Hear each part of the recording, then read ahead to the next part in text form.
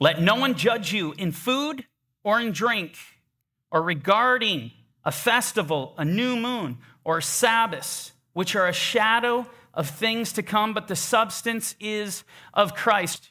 It's a proof text. In fact, I would argue this is the foremost proof text to show that Christians today do not need to keep the Sabbath. They're under no obligation, no requirement whatsoever. It's not necessary. And it doesn't stop there.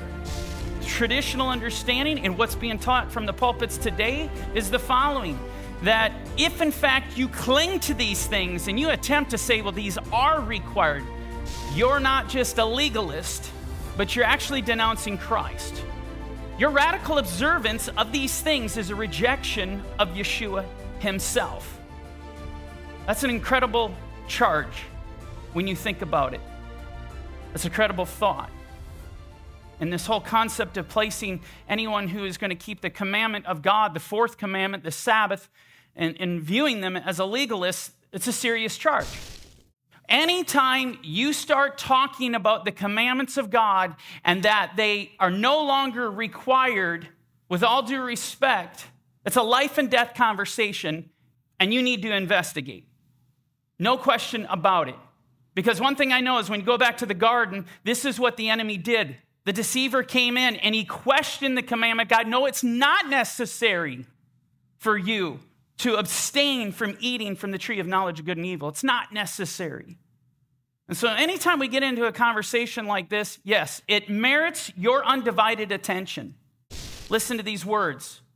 He says, But as to their, meaning the Jews, scrupulosity concerning meats and their superstition as respect the Sabbath, and their boasting about circumcision and their fancies about fasting and the new moons, which are utterly ridiculous and unworthy of notice. These things that we read about in Colossians 2:16, the feasts, right? You talk about the new moon, the Shabbats, making the distinction between clean these things are ridiculous and unworthy of notice. That is the strongest language you could possibly use. This is back in the second century, mid second century. So here's the deal as, as you look at some of the commentators today, some of the preachers from the pulpit today, understand something. This stuff is not new that we're hearing today. This perspective, this goes all the way back. Let me show you what some of the modern day uh, commentators are saying of which pastors today are drawing from. This is the exposition of Colossians. This is by Hendriksen and, and Kistemaker. What justification could there be for imposing upon converts from the Gentile world the observance of the Jewish Sabbath? When the bringer of eternal rest is urging everyone to come unto him. You understand what he's, what he's proposing here? He's making it look at you can either grab hold of the Jewish Sabbath or you can grab hold of Christ. And if you're going to grab hold of the Jewish Sabbath, then, then you're abandoning Christ. But if you accept Christ, you will abandon the Sabbath. This is what's being conveyed. The Old Testament uh, regulations had served a real purpose. But now that Christ and salvation in him had arrived, what further use could such shadows serve?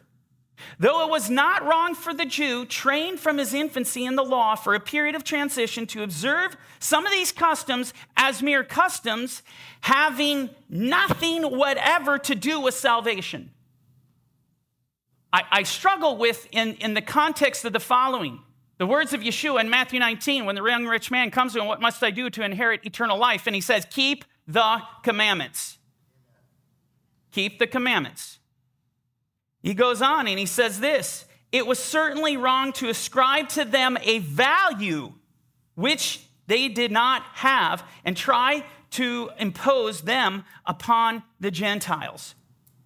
There's no value in the Jewish Sabbath. This is what Christians are being taught today. There's no value in the Jewish Sabbath. There's no value in making a distinction between clean and unclean, or in the festivals, in Passover, right? Yom Kippur. This is explicitly referring to Colossians 2. This is a response to this. Let me show you another response to Colossians 2 from another scholar, Dr. McNaughton. Paul, who is saying here that believers are under no obligation to keep the Jewish Sabbath, i.e., Saturday, now that the new covenant has come. This is a very simple assessment. You read Colossians 2 16, 17, and this is what people are walking away from.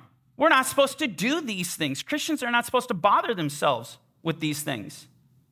Dr. Wall says the following The list of these celebrations, which includes a religious festival, a new moon celebration, or a Sabbath day, is fairly typical since the list encompasses annual festivals such as Passover or Yom Kippur, monthly meetings such as the new moon celebration, and the weekly observance of Sabbath. It is evident that Paul's opponents required a rather comprehensive obligation. Moreover, within Judaism, most of these celebrations were intended to help the community look forward to Messiah's deliverance of Israel from its suffering and to its entrance into God's promised shalom. That's an interesting assessment. Because even this particular scholar, he recognizes that, you know, the, the, festivals are prophetic in nature and they declare, they're proclaiming Messiah's deliverance for his people. I agree with that. But then we get to this. Thus, for the Christian to participate in these Jewish celebrations was tantamount to a denial of Jesus' messiahship. The one thing that I struggle with and that terrifies me is this question. And at the very least, I'm asking every Christian to ask the question what if that's the wrong assessment? What if these commentators, these scholars, the early church fathers, what if they misunderstood what Paul was really saying? What are the implications of something like that? You cannot even calculate it. I will tell you this one of the most influential passages in shaping Christianity today is Colossians 2:16. And the understanding, the traditional understanding of that passage. Hey there, this is Mike at Corner Fringe Ministries, and I'd like to thank you for taking the time to watch our video. We hope that it blessed you and it encouraged you. And if it did, please hit the thumbs up on the video and share it with your friends and family. It's also, if you haven't already considered, please subscribe to our YouTube channel. Now, if you'd like to watch the entire video, click on this link. And if you'd like to watch the entire series and learn more about what we, we do and believe here at Corner Fringe Ministries, click on this link. Once again, I'd like to thank you for watching the video, and we hope to see you again soon. Shalom.